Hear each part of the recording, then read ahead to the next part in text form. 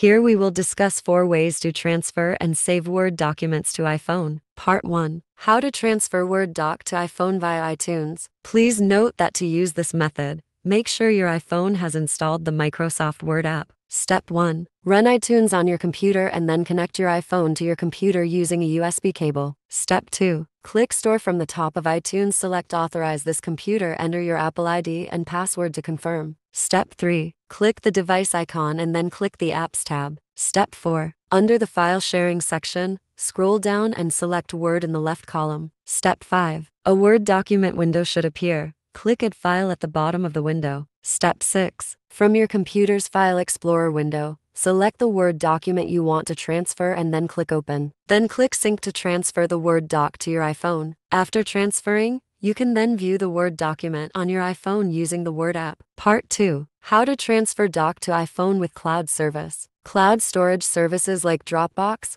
OneDrive, and Google Drive lets you store and share various documents. You can upload the Word documents to the cloud and then download them on your iPhone easily. Below we will talk about how to save Word documents on your iPhone using Dropbox. Step 1. Download and open Dropbox on your computer. Create a Dropbox account if you don't have one. Step 2. Drag and drop the document you need to transfer to the Dropbox window. Step 3. On your iPhone, Install the Dropbox app and log in with the same account. Step 4. Head to File and tap on the document you need to download. On the pop up window, scroll down and find Export Tap Open in. To export the file, after this, you can tap Save to Files to put the Word document on your iPhone. Part 3. How to save Word documents on iPhone via email. Step 1. On your computer, sign an email account. Step 2. Compose an email and attach the required Word document to the email then send it to yourself. Step 3. On your iPhone,